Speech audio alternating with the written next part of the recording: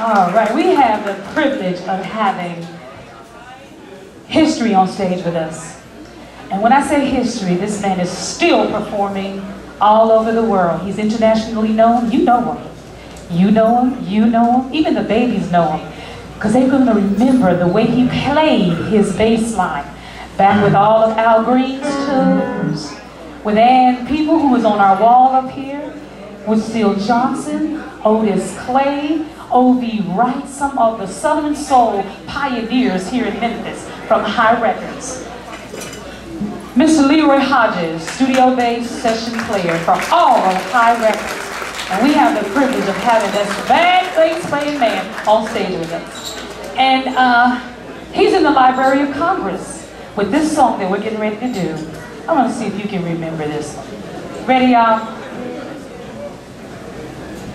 You know it? Just wave your hand.